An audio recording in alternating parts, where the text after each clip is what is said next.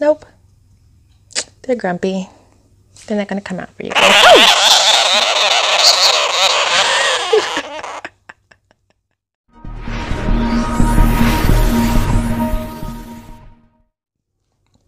Hi guys, my name is Tamara and welcome to my channel.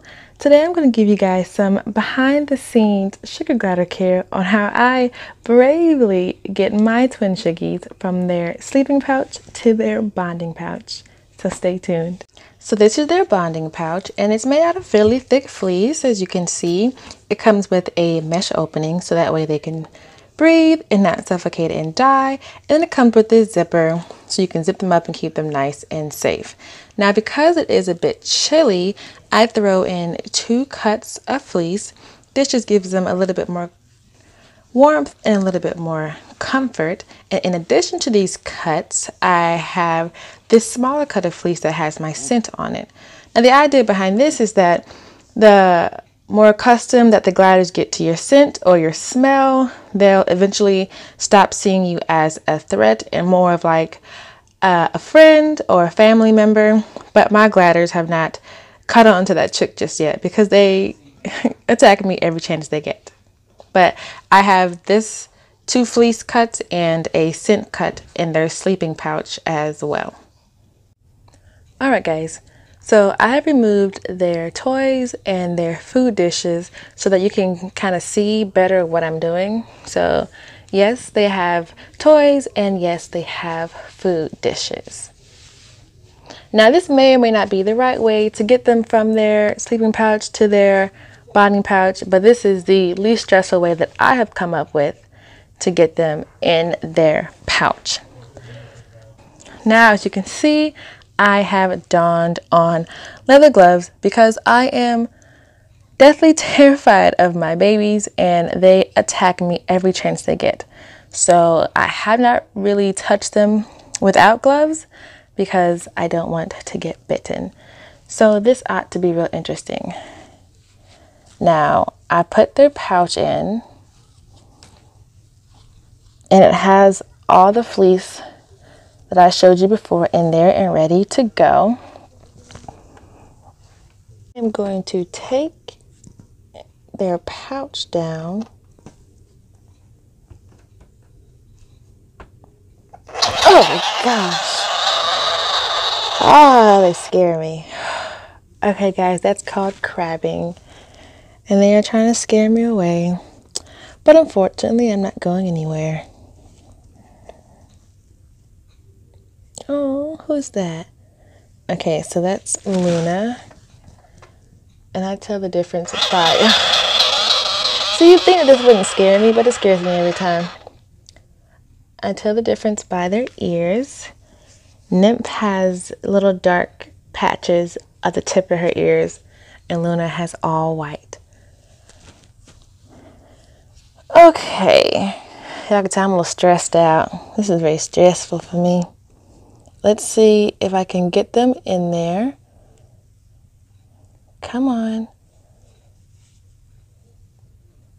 Good, Luna. All right, Nymphadora, your turn. Come on. No, don't go back out. No, don't. Oh, gosh. No, no, no, no, no. All right. All right. Come on, guys. Go in. No, there we go. Y'all know what the bonding pouch is. Get in there. No. Go. Get in. All right. See if I can get them in there. Nope. Get in. Who's coming out? I feel them moving around. Who is that? Come on, guys. Oh, gosh, no. Guys, come on. Uh, yeah, honestly, I don't know how I'm getting them in the pouch because I've never touched them. Oh, gosh. Cool. All right, guys. So this is probably about it for this video because they tear. Oh, someone's in there. Who is that? Nymphadora. Cool. All right.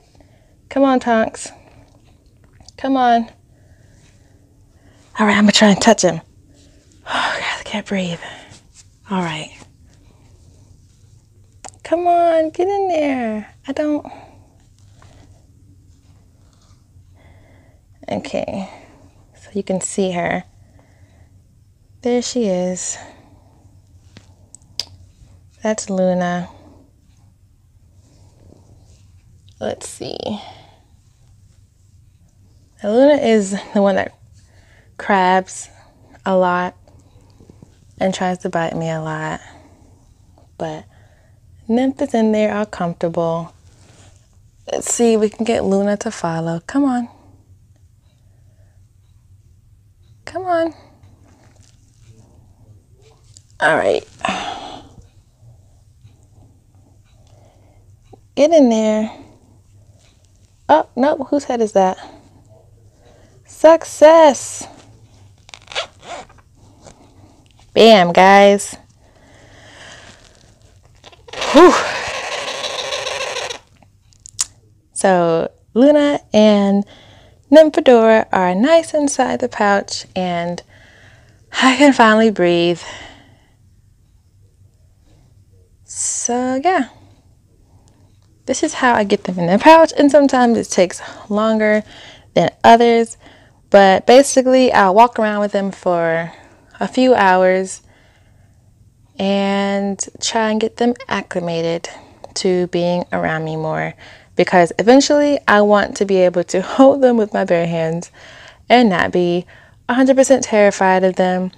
Alright guys, thank you so much for watching and if you hadn't already, make sure you hit that subscribe button so that you can become a part of the Totally Enchanting team.